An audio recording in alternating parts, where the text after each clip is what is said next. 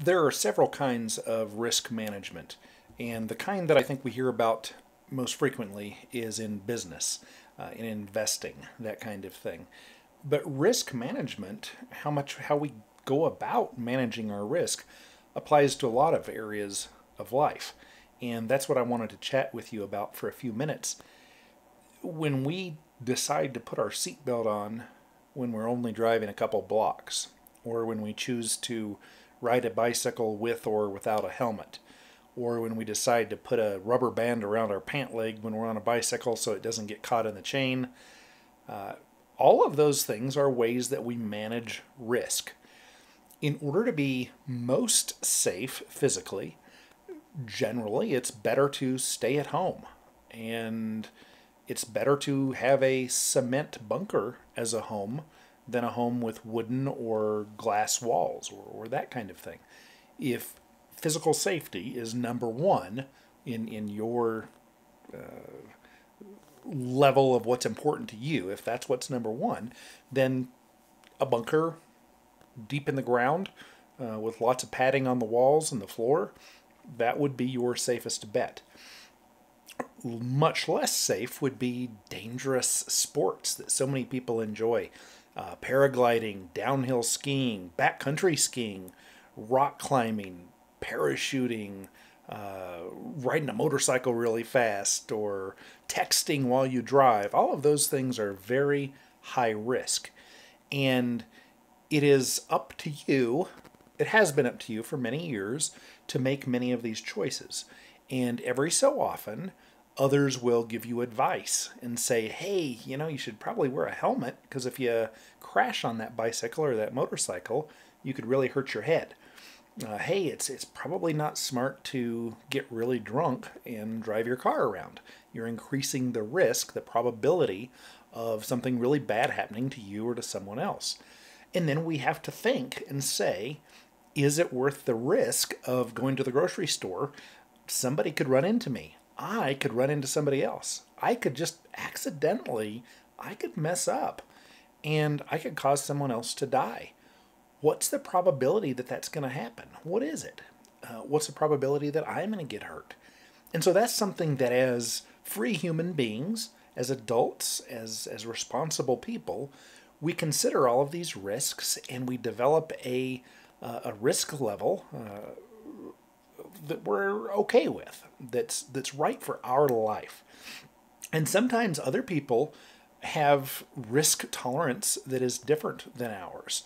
Uh, a friend of mine uh, went skiing in Europe with his wife, and somebody came barreling down the ski hill and ran into her and really messed her up horribly.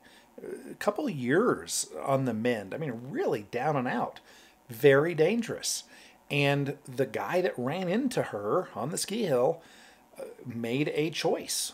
Uh, he made a choice to go out skiing and go on a hill downhill really fast. And she made the choice to do that. And because they both made that decision, yeah, every so often bad things are going to happen. And I hate it when they happen to people that I care about. And in this case, it was somebody I cared about. So that was that was very sad. However, they both made that choice and it happened. And it is tempting as as a person that cares, it is tempting for me to try to decide for other people what they should do. It's tempting for me to say you shouldn't be allowed to downhill ski. It's simply too dangerous. Riding bicycles on rocky dirt covered roads or trails, that's dangerous. We should not allow that. And I know that your argument is that you just want to have fun and live your life as a free person, that old fashioned idea, and that, you know, you, if you do fall and wreck, you're only going to hurt yourself. Well, that's not always the case. Bicycles can crash into other people, skiers can crash into other people.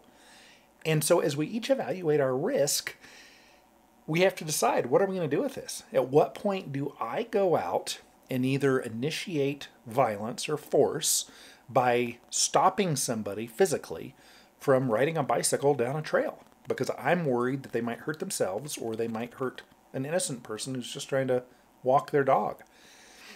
At what point would I be able to initiate that force against someone? I mean, what do you think? And if, you think there is a point that it's okay for me to preemptively stop someone else from making a, a, a choice that they want to make about what level of risk they want to have, then I guess if you think I can do it, it'd probably be okay if I could delegate that right to use force against them. Like if I could get a few other people and say, hey, I, I have to go on break. Please stand here at the trailhead, and if anybody comes on a bicycle, grab them and stop them and use force against them. I guess that would work, but it, it seems to me that, that maybe we should say that whoever owns a property should be able to make the decision there. So if you own a trail, you own a ranch, there's a trail on it, you should get to choose who can who can do what on your property. Are bicycle riders allowed, or are they not allowed? Um, do you let people come into your house that have chicken pox, or is that too much of a risk? It seems to me that it's kind of dangerous to say that the whole world, all places, places where a lot of people go, places that are private that allow other people to go there, that that that I could say, or or my friends and I, the fifty one percent, could say that nobody with chicken pox can go anywhere, and nobody that's healthy can go anywhere. We all have to just play it safe and stay inside a padded room so that nobody gets hurt.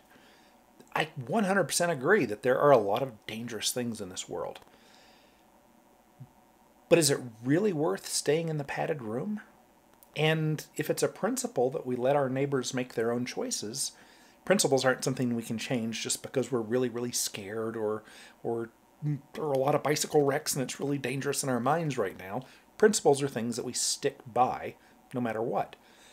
And so if I have the principle that the world can be a dangerous place, you can get hit by bicycles, skiers, people with chicken pox, all kinds of dangers out there. And if you go out into the world, if you go off of your property, there's a risk of that stuff. And if you want to protect yourself, feel free to go skiing and wear a helmet, wear padding in case somebody runs into you. Uh, encourage people to go slowly, but never initiating force.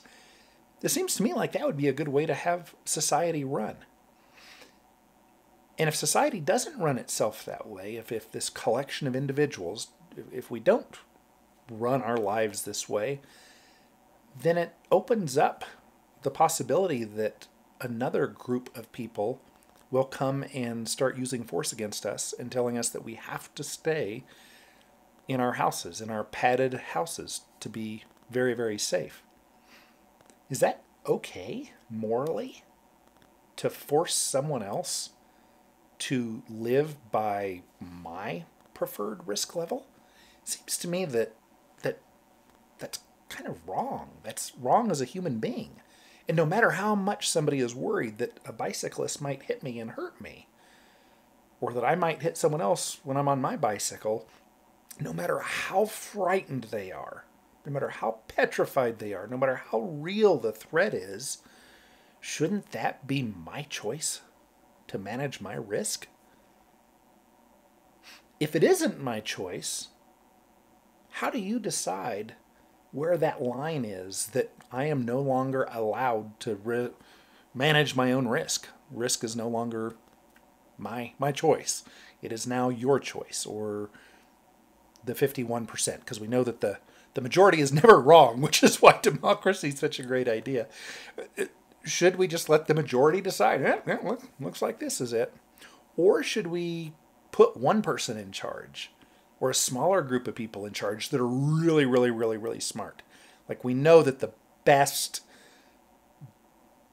people in the world, whatever area they're in, they all gravitate to large bureaucracies. They they want to be government employees because those are that's the cream of the crop. That's where you make the most money. That's where you can do the most good. You can be the most creative and, and innovative. So we know that the best of the best of the best human beings do tend to gravitate toward large bureaucratic organizations. So do we trust those people? I don't know. I I tell you that for for my preference, my preference is that you get to manage your risk and I get to manage my risk. And I will not tell you what to do. You do your thing, I'll do mine. Live and let live. You're an individual, I'm an individual. Do your thing. That's my principle. Not going to force it upon you, but that's my principle.